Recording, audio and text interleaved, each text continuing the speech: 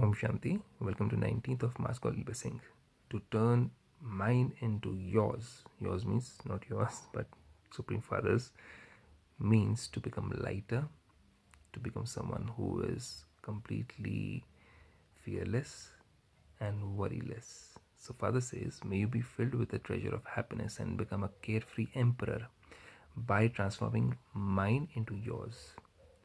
The children who have said everything is yours Oh Father, my Creator, everything is yours mind, intellect, habits, body, mind, wealth, everything is yours, not mine.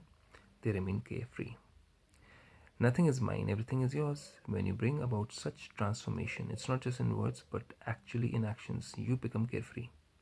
Everyone wants to remain carefree in their lives. Where there are no worries, there is constant happiness.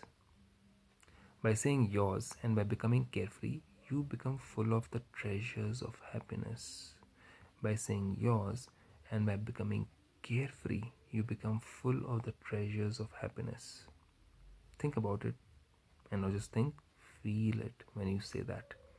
But if you think everything is yours and everything is profit, then you got attachments to it. If you lose something you still got attachments to it. And both the ways we are swinging in a swing of unhappiness. So best is it's all yours. There's no loss for me. And if it's god's this whole world then there's no loss for him also. By saying yours and by becoming carefree you become full of the treasures of happiness. You carefree emperors have countless infinite carefree emperors have countless infinite imperishable treasures, which are spiritual treasures of knowledge, power, happiness, and values which will not be there in the golden age. Think about it. Om Shanti.